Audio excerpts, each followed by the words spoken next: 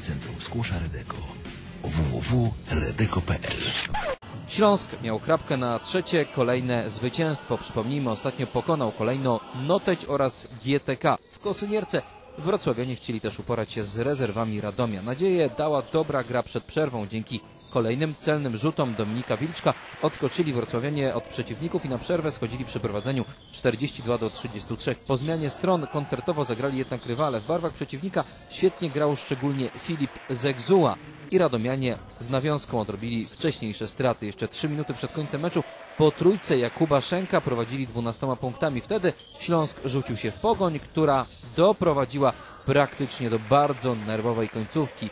Świetnie grali Norbert i Maksym Kulonowie. Większość strat udało się odrobić, ale do przechylenia szali zwycięstwa na swoją korzyść zabrakło wrocławianom czasu. WKS uległ ostatecznie trzema punktami. Kolejny raz najlepszym zawodnikiem Wrocławian był Norbert Kulon. Rzucił tym razem 17 punktów, dodając do nich 6 zbiórek i 4 asysty. Znów bardzo dobre spotkanie zaliczył Dominik Wilczek, 16-letni strzelec. Uzbierał 15 oczek i 5 zbiórek, trzykrotnie trafiając za 3. Maksym Kulon zdobył natomiast 10 punktów i zanotował 6 zbiórek. Z bilansem czterech wygranych w 9 meczach Wrocławianie plasują się obecnie na 14 miejscu w tabeli pierwszej ligi. Rosa jest siódma. Kolejne spotkanie Śląsk rozegra 12 grudnia w Prudniku. Zmierzy się z Pogonią.